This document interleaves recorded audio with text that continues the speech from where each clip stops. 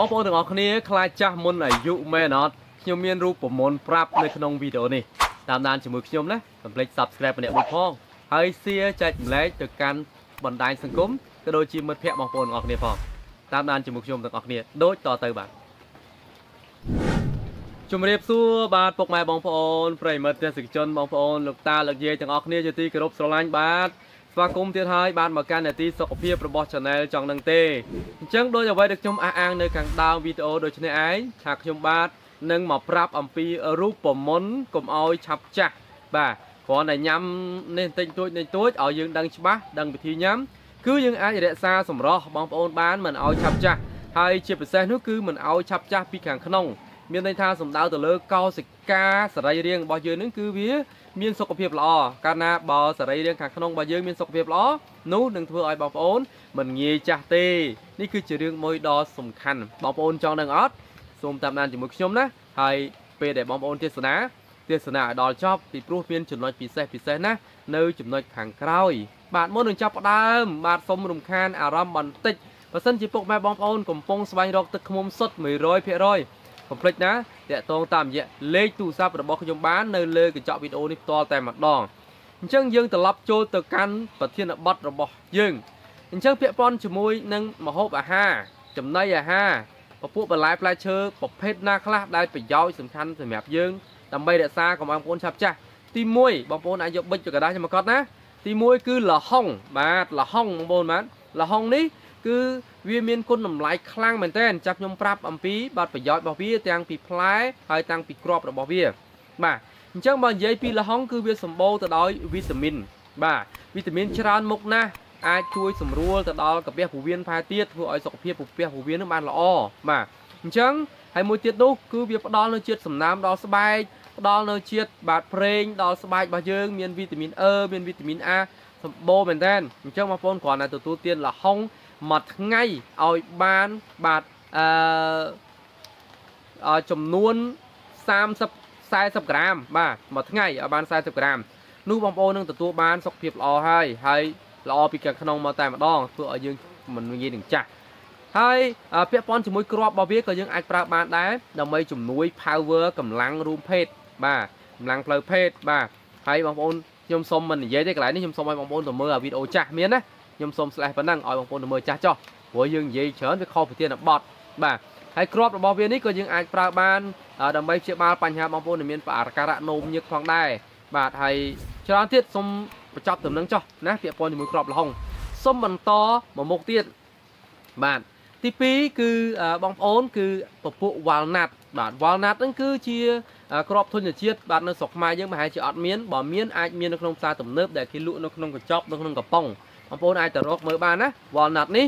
គឺវាជំនួយទៅដល់កោសិកាខួរក្បាលបើសិនជាយើងបាទចាស់ទៅ បាទយើងពិបាកដែរបាទការចងចាំរបស់យើងប្រហែលជាភ្លេចច្រើនអញ្ចឹងបើយើងញ៉ាំ walnut បានច្រើនក៏វាអាចជួយ បាទដល់កោសិកាខួរក្បាលរបស់យើងហ្នឹងបាទឲ្យធ្វើឲ្យមានការចងចាំល្អប្រសើរបាទដោយសារតែវាមានអូមេហ្គា3វាជួយទៅដល់ខួរក្បាលក៏ដូចជាវាមានវីតាមីនជាច្រើនទៀតជួយដល់ស្បែកបងប្អូនទាំងអស់គ្នាវាមានជាតិប្រេងណាអាហ្នឹងគឺល្អមែនតើ walnut បាទ ទី3នោះបាទគឺ avocado ឬក៏ហៅថា fiber fiber នេះបើយើងនិយាយពីអត្ថប្រយោជន៍របស់វាគឺពិសេសមែនតើបងប្អូនអរគ្នាហើយបងប្អូនចង់ដឹងអត់ថា fiber នេះគឺវាជួយខ្លះបើយើងនិយាយទៅគឺ fiber វាជួយទាំងពពួក fiber ដោយសារតែ fiber នេះហើយដែលធ្វើឲ្យកាពះពោះវៀនបងប្អូនរំលាយអាហារបានល្អមិនធ្វើឲ្យប៉ះពាល់ទៅដល់កាពះជួយសម្រួលទៅដល់ចលនាកាពះមួយកម្រិតថែមទៀតហើយបើនិយាយពី គុណតម្លៃផ្នែក nutrient បើន័យថាអាហាររូបធម្មណាវាមានវីតាមីនច្រើន មានវីតាមីន E វាមានវីតាមីន C វីតាមីន A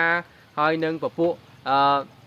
សារជាតិចិញ្ចឹមជាច្រើនទៀតដែលវាមានប្រយោជន៍ដល់សុខភាពអាចជួយដល់ភ្នែកបាទហើយគ្រាប់របស់វាណាក៏ជាថ្នាំសម្រាប់ជំនួយធម្មពលផ្លូវភេទផងដែរបើចង់ដឹងសូមមើលវីដេអូចាស់ចាស់មានហើយហើយខ្ញុំអត់និយាយម្ដងទៀតទេ បាទចូលដល់ទី4នោះ គឺពពួក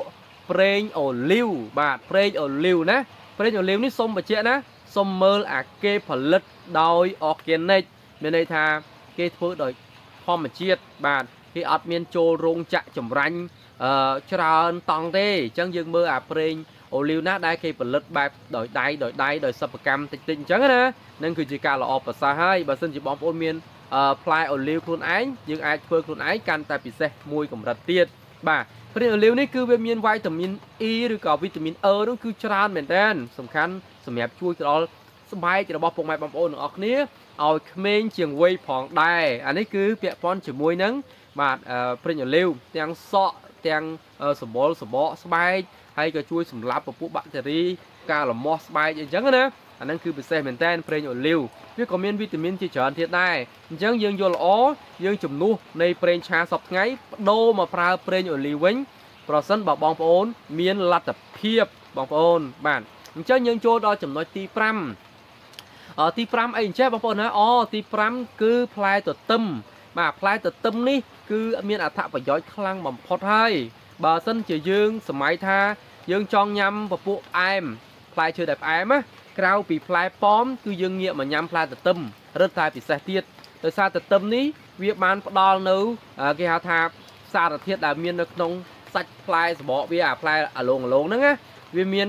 វីតាមីន E វាមាន collagen ហើយវាមានសារធាតុចិញ្ចឹមពិសេសពិសេសដែលมันធ្វើឲ្យប៉ះពាល់ដល់ស្បែករឹតតែធ្វើឲ្យចិញ្ចឹមដល់ស្បែកចិញ្ចឹមទៅដល់បាទសរីរាង្គរបស់រាងកាយរបស់បងប្អូនថែមួយកម្រិតទៀតបាទទី6ទី6អីគេទៅបងប្អូនទាំងអស់គ្នា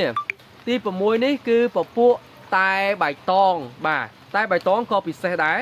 ពិសេសមែនទែនតែបៃតងមិនមិនអាចអត់បានទេបើសិនជាអ្នកដែលគាត់ត្រូវការសម្រស់ត្រូវការសុខភាពឲ្យក្មេងជាងវ័យគឺតែបៃតងនេះខ្ញុំរីកខមមិនឲ្យបងប្អូនទាំងអស់គ្នា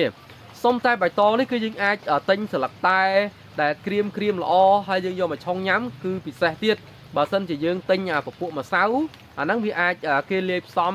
គេអាចចូលរោងចក្រ គេផ្សំសារធាតុអីទុកបានយូរច្រើនអាហ្នឹងវា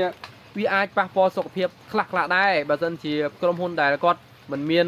បាទឈ្មោះត្រឹមត្រូវក្រុមហ៊ុនដែលគាត់មិនបានផលិតច្បាស់លាស់ឬក៏ក្រុមហ៊ុនខ្លែងខ្លាយអញ្ចឹងណាអាហ្នឹងវាអាចប៉ះពាល់ដល់សុខភាពបងប្អូនទាំងអស់គ្នាបាទអញ្ចឹងតែបៃតងនេះគឺយើងអាចញ៉ាំបានជារៀងរាល់ថ្ងៃទៅតាមតម្រូវការរបស់ពុកម៉ែបងប្អូនទាំងអស់គ្នាបាទ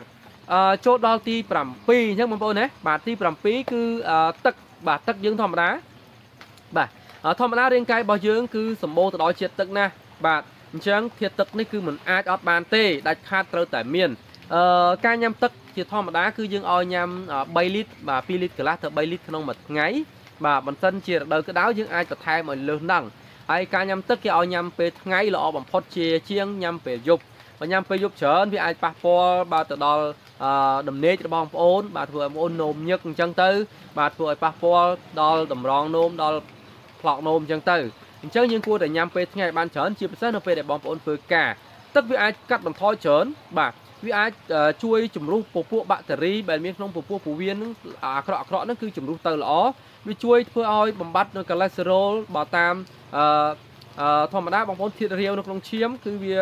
ផ្ដល់នៅអុកស៊ីហ្សែនច្រើនសម្រាប់រាងកាយអញ្ចឹងយើងញ៉ាំទឹកច្រើនក៏វាផ្ដល់អុកស៊ីហ្សែនសម្រាប់ឈាមរបស់បងប្អូនដែរហើយមួយទៀតនោះទឹកគឺវាអាចជំនួយទៅដល់ប្រព័ន្ធរំលាយអាហារបានគ្រប់បែបយ៉ាងទាំងអស់ មិនជឿសាកមើលព្រលឹមឡើងបងប្អូនញ៉ាំទឹកមួយកែវកុំទឹកត្រជាក់ណាអត់ទាន់ញ៉ាំអីទាំងអស់បងប្អូនញ៉ាំទឹកមួយកែវដើម្បីសម្រួលទៅដល់ប្រព័ន្ធរំលាយអាហារហើយមិនជឿខ្ញុំណាបងប្អូនព្រលឹមឡើងបងប្អូនតែងតែមានអារម្មណ៍ថាបត់ជើងអត់អត់ទៀងទេតែបងប្អូនបងប្អូនចង់បត់ជើងទៀងណាព្រមឡើងញ៉ាំទឹកមួយកែវមកបងប្អូនបត់ជើងទៀងហើយនេះគឺជាពិសេសមែនទែនសម្រាប់រាងកាយបងប្អូនទឹកគឺបានផ្ដល់នៅសំណើមទៅដល់ស្បែករបស់បងប្អូនទាំងអស់គ្នាបាទផ្ដល់សំណើមបាទ ធ្វើឲ្យមានសំណើមអ្នកណាដែលអត់សូវចូលចិត្តញ៉ាំទឹកនោះហើយស្បែករៀងក្រៀមក្រៀមស្បែករៀងបែកសកាអញ្ចឹងទៅបងប្អូនទាំងអស់គ្នាបាទហើយណាមួយទឹកក៏វាផ្ដល់បាទនៅអត្ថប្រយោជន៍ទៅដល់អឺឆ្អឹងទៅដល់សក់ទៅដល់ភ្នែកផ្សេងផ្សេងដែរដោយសារតែភ្នែកក៏វាផលិតទឹកភ្នែកដើម្បីជួយកម្ចាត់ទៅពួកបាក់តេរីពពួកមេរោគដែលចូលភ្នែកដែរសក់យើងក៏ត្រូវការសំណើមដែរអ្នកដែលអត់សូវញ៉ាំទឹកច្រើនក៏វាធ្វើឲ្យតាំងពីសក់តាំងពីស្បែកតាំងពីឆ្អឹងកញ្ចក់របស់គាត់នឹងគឺអត់សូវល្អទេអានេះគឺជា បញ្ហាមួយដែលពាក់ព័ន្ធជាមួយទឹកបាទទី8ពាក់ព័ន្ធជាមួយនឹងស្រាក្រហម ស្រាក្រហមក៏សំខាន់ដែរ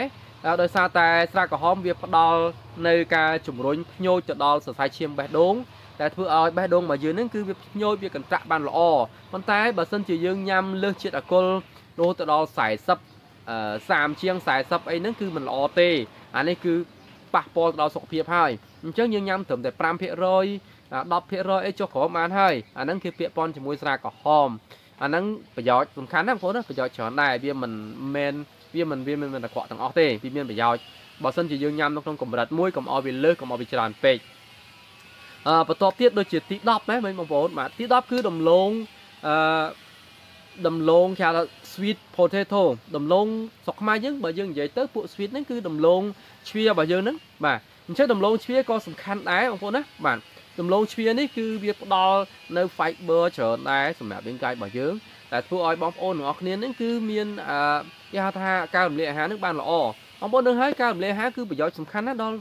ដល់រាងកាយរបស់យើងបើសិនជាការរំលាយអាហារនៅក្នុងកាពះរបស់យើងអត់បានល្អនោះសារធាតុចិញ្ចឹមផ្សេងៗក៏វាអត់ចាប់យកបានល្អដែរហើយបងប្អូននឹងហើយមានបញ្ហាកាពះគឺមិនស្រួលទេលើពីនេះទៅទៀតនោះដំឡូងអឺដំឡូងជ្វានេះវាបានផ្ដល់នូវប្រយោជន៍ច្រើន វាបានផ្ដល់នៅអាហារូបត្ថម្ភច្រើនដល់រាងកាយរបស់យើងវាជួយច្រើនមែនទែនជាពិសេសគឺបញ្ហាស្បែកហ្នឹងអឺ11បងប្អូនណាមិញ10ហើយណាបាទអញ្ចឹង11នោះគឺពាក់ព័ន្ធជាមួយនឹងបន្លែបន្លែពណ៌បៃតងมันអាចអត់បានទេបន្លែពណ៌បៃតងគឺពិសេសបំផុតទាំងអស់គ្នាបាទបន្លែពណ៌បៃតងកុំភ្លេចណាបងប្អូនត្រូវតែញ៉ាំឲ្យច្រើនបំផុតជាពិសេសពួកប្រូកូលីពួកស្ពៃក្តោបអីហ្នឹងវាអាចកម្ចាត់ជាតិពុលក្នុងឈាមបាន12គឺ ពាក់ព័ន្ធជាមួយនឹងគេហៅថាម្សៅឆ្អឹងដែលភាគច្រើនសម័យបច្ចុប្បន្ននេះឃើញមានអ្នកខ្លះគាត់ធ្វើពីត្រីក្អាត់ធ្វើវីកំភ្លងធ្វើពីត្រីកង្វាតូចតូចគាត់យកទៅសម្ងួតនៅក្នុងម៉ាស៊ីនសម្ងួតហើយគាត់កិនទៅជាម្សៅបន្ទាប់មកគាត់លាយនៅក្នុងបបរឲ្យកូនញ៉ាំឬក៏គាត់យកទៅលាយក្នុងក្នុងម្ហូបអាហារអីដែលគាត់ទិញមកជាលក្ខណៈម្សៅយើងកិនធម្មតាយើងធ្វើខ្លួនឯងក៏បានដែរបងប្អូនហ្នឹងយើងឲ្យតែមានយើងមានម៉ាស៊ីនសម្ងួតបាទអញ្ចឹងយើងអាចធ្វើពពួកហ្នឹងបាន ក្រៅពីហ្នឹងគឺនៅមានពពួកផ្សេងផ្សេងជាច្រើនទៀតដែលខ្ញុំនិយាយមិនអស់ទេដោយសារតែវាច្រើនអញ្ចឹងសូមបញ្ចប់វីដេអូត្រឹមនេះទៅកុំឲ្យវែងពេកដោយសារវីដេអូនេះឡើង10នាទីហើយអញ្ចឹងសូមប៉ុណ្ណឹងអរគុណដល់ពុកម៉ែបងប្អូនទាំងអស់គ្នាបើសិនជាពុកម៉ែបងប្អូនត្រូវការទឹកឃ្មុំសុទ្ធ100%ណាជំនឿទុកចិត្តបំផុតលើខ្ញុំបាទហើយបងប្អូនតាក់ទងតាមរយៈលេខទូរស័ព្ទរបស់ខ្ញុំអរគុណជម្រាបលាយើងនឹងជួបគ្នានៅវីដេអូថ្មី